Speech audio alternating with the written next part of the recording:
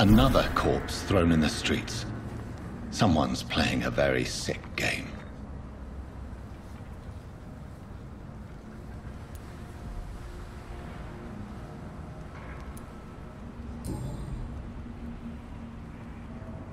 I know this brooch.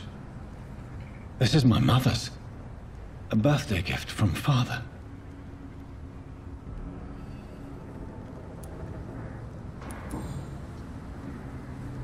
Twenty-nine Pretty Orchard Street. That's near Poplars District. Why would this man carry off my mother's brooch? I must go there.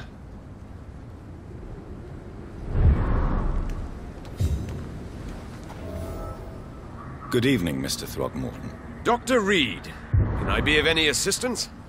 Have you noticed anything suspicious lately? Did you see what happened to him? Actually, yes. He was thrown from the roof like a vulgar log. Why is it that you sound so... afraid? You didn't see it. He was dead before he hit the ground. The strength required to do such a thing, well, it beggars belief. Who could have done that? Who? Well, a vampire, of course. Look, bite marks on the neck and lacerations here. There is definitely a vampire close by.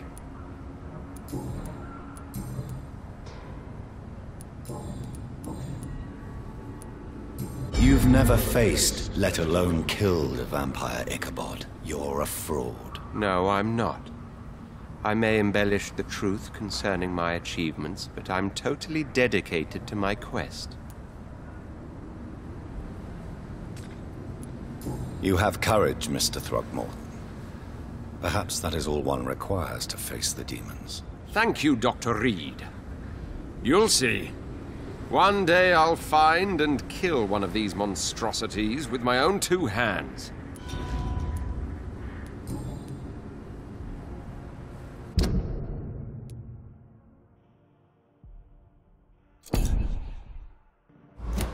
Goodbye, and good hunting, Mr. Throckmorton.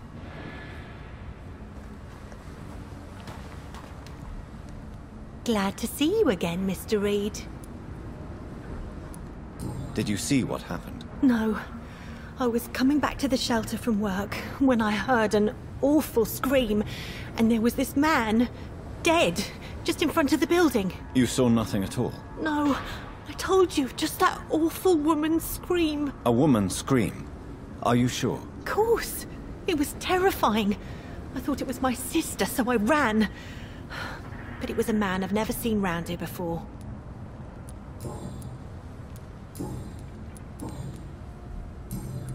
Goodbye, Miss Paxton.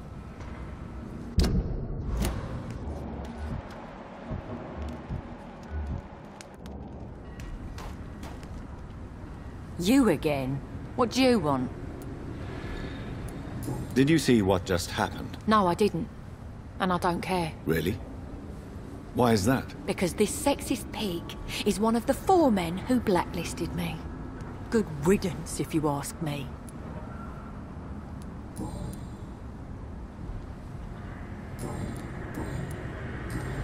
Well, I'll leave you for now. Goodbye, Miss Paxton.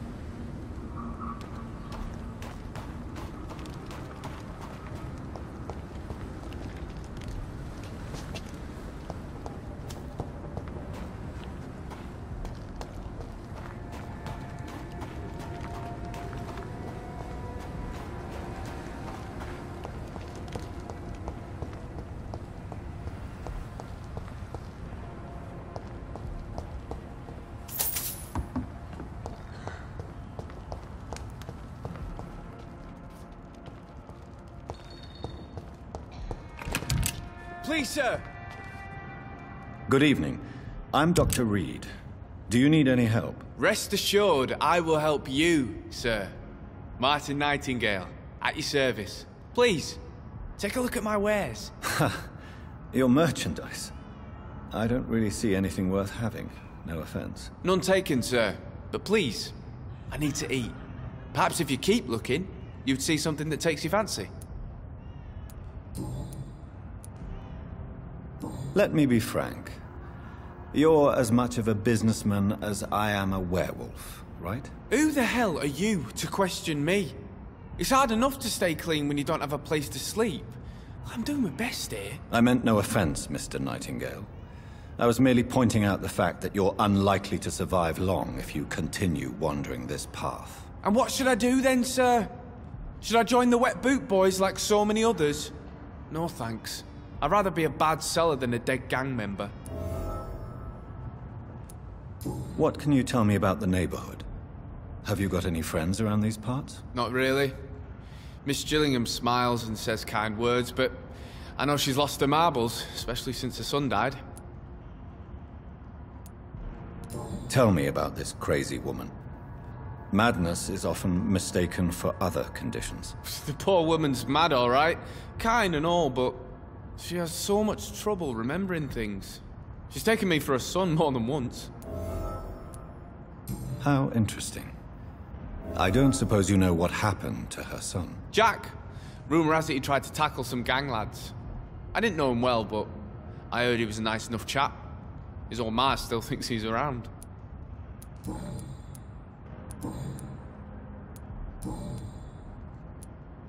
Why not try seeking help instead of peddling your wares? I'm sure there are people around here that would gladly help. There's always the night asylum. Heard it's run by a very nice man, but I'm no beggar. Not yet, at least. There is no shame in asking for help, my boy. Sometimes it can even be the best course of action. I don't feel okay with that. I'm gonna make a name for myself, and I'll do it by myself. Show me what you have to offer then, Mr. Nightingale.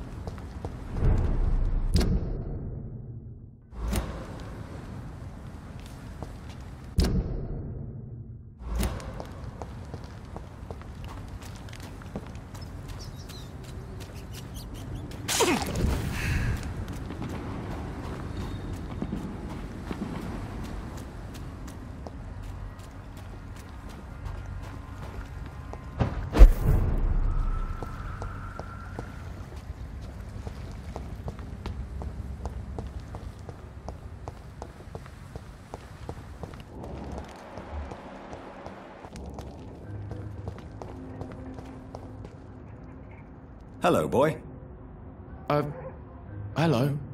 Good evening. Did I scare you? You have nothing to fear from me. No, it's just that people prefer to avoid me. Well, I won't. I'm a doctor. My name is Rufus, sir. Rufus Kingsbury. What can you tell me about this region? It's all about staying out of trouble. But since most people prefer to avoid me, it's pretty easy. Why do people avoid you? They call me Rufus the Curse.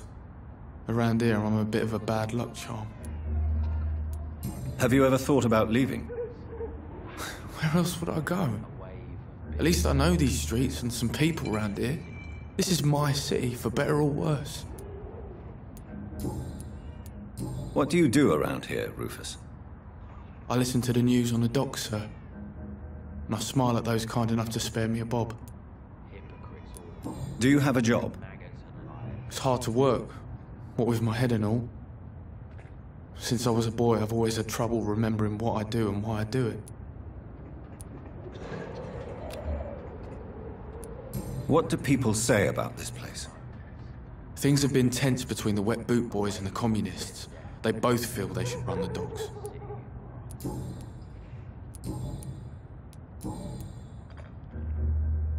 Are you alone? Where is your family? I. I don't have any. My parents are dead. So you have no home? You're sleeping rough. No. I mean, yes. I live on the streets. I have no home. You should be careful, Rufus. There are things that lurk in the shadows of this city. Things that prey on the lonely and the desperate. Well, I've known worse. I'm not all alone. I have Mrs. Fishburne. She's been very kind to me. Why do you think she's so considerate? I can't say, sir. I guess she's a good soul. Sometimes it's like she replaces the mother I lost, even if we're not related. Do you need help? A real doctor caring about me. That's a first. I feel like a real person. A real doctor treats everyone the same, Rufus. I don't know what to say. Thank you, sir. Thank you.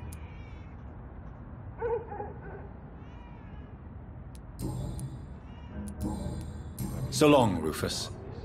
Be careful. Take care.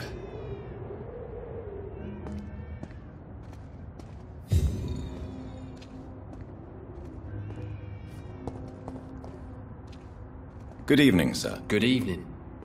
Why must it always be a good evening? I was just being polite. I'm Dr. Reid. I'd like to ask you some questions, if I may. Don't like questions. Or doctors. And the name is Seymour Fishburne, if you must know.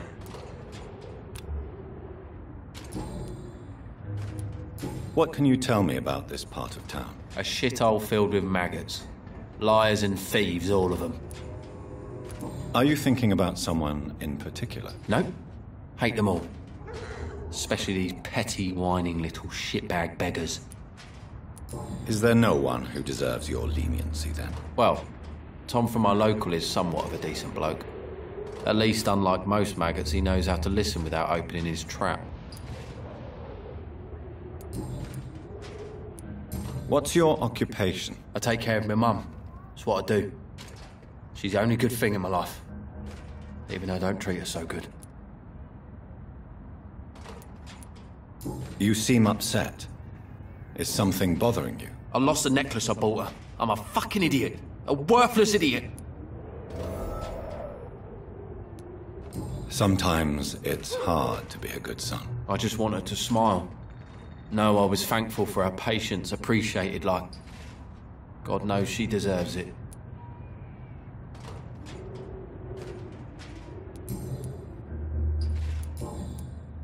Do you require medical assistance? That's something I didn't expect to hear again. A doctor concerned with the health of his patients. Yeah. I could use some help. On several matters, in fact.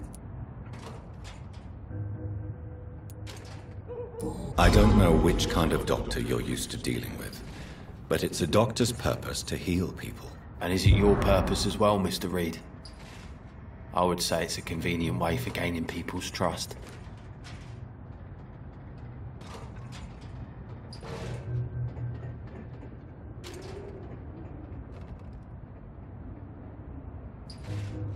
Goodbye, Mr. Fishburne.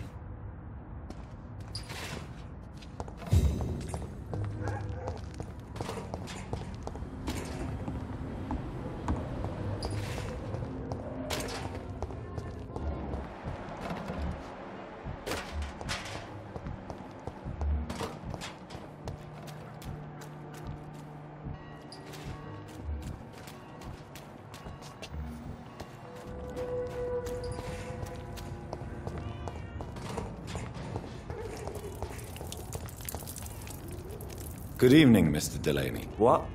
Oh, you're that doctor.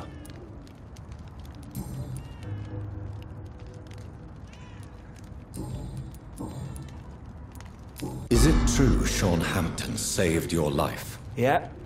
The sad saint grabbed my soggy ass and brought me back to the pier after I fell into the canal. I was a wreck back then. Were you thankful for what he did for you? Sean Hampton really acted like a saint that day. But I suppose I'm just another lost soul who doesn't deserve to be saved.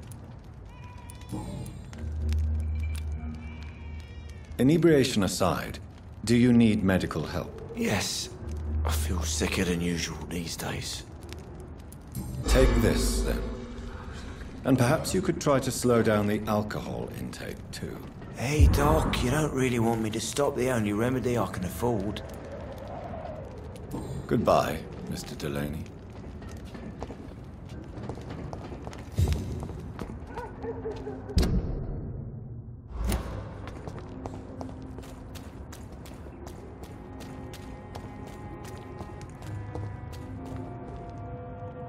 Good evening, Miss Cox. Hello again, Dr. Reid. What do you want?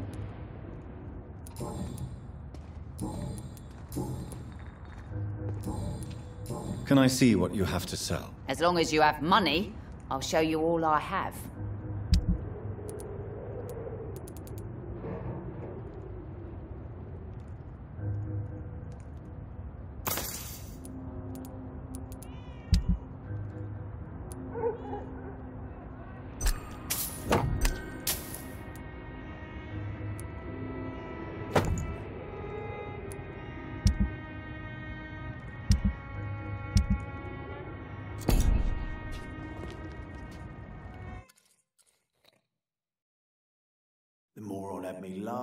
First, but to think, he's a bloody vampire hunter.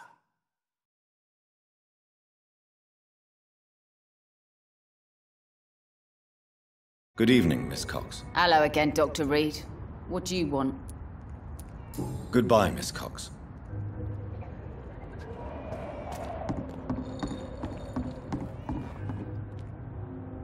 You again. What do you want?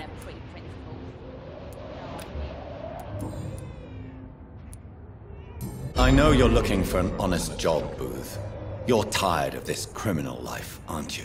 It's just an idea. Edwina loves to run things so much. You can never really leave the gang.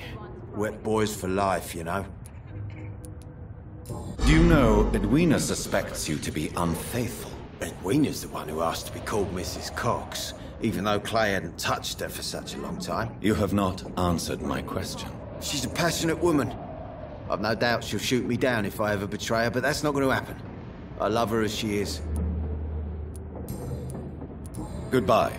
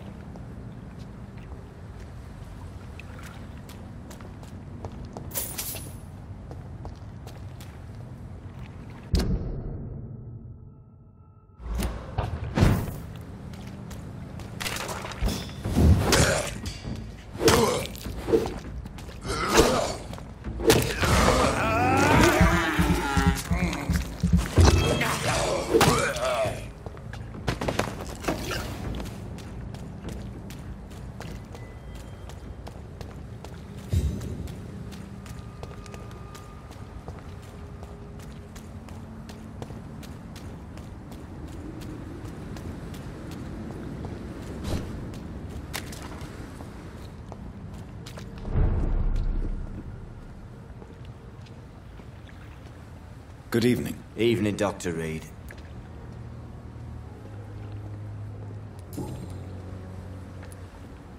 Newton is conflicted about his feelings towards you. Would you like to talk about it, Oswald? It makes me sad and angry. It feels like the beautiful thing we have is somehow tainted. It hurts to see him so lost. His love for you is genuine. I'm certain he wasn't lying to me when he expressed his feelings for you. Newton still has to accept it, knowing he'll be seen as a queer, a fairy, less than a man in those simple-minded bigots' eyes. Though he's more of a man than they'll ever be, so fuck 'em all.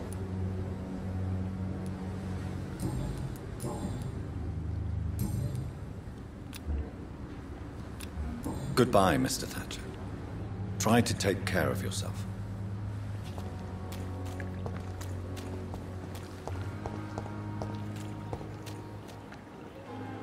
Hello again, Mr. Blight. Good evening, Dr. Reid. You doing your rounds as usual?